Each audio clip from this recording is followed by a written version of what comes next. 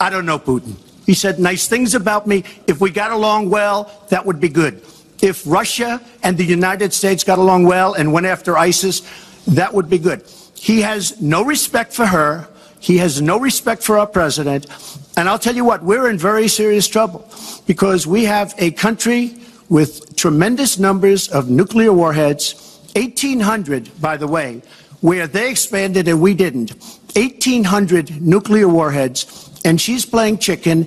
Look, Putin, Wait, wait, wait. from everything I see, has no respect for this person. Well, that's because he'd rather have a puppet as president of No the United puppet, States. no puppet. And it's pretty clear. You're the puppet. It's pretty clear you won't admit No, that the the. Russians have engaged in cyber attacks against the United States of America, that you encouraged espionage against our people, that you are willing to spout the Putin line, sign up for his wish list, break up NATO, do whatever he wants to do, and that you continue to get help from him because he has a very clear favorite in this race. So I think that this is such an unprecedented uh, situation. We've never had a foreign government trying to interfere in our election. We have 17, 17 intelligence agencies, civilian and military, who have all concluded that these espionage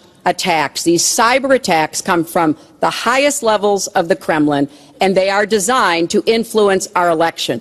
I find that deeply disturbing, Secretary and Clinton- I think it's She time has no idea whether it's Russia, China, or anybody else. I am else. not She quoting has myself. no idea. I am quoting Hillary, you 17, have no idea. 17 intelli- Do you doubt 17 Our- our military country has and no idea. civilian agencies? Well, Yeah, he'd doubt rather it. I believe doubt it. Vladimir Putin than the military and civilian intelligence professionals who are sworn to protect us. I find that just Sec- Sec- absolutely She doesn't Trump- like Mr. Putin because Putin Mr. has outsmarted her at every Mr. step Trump, of the way. I- I- Excuse me. Mr. Putin has Mr. Trump, outsmarted her in Syria. Trump, He's not a potted outsmarted her plant every step of the way. I-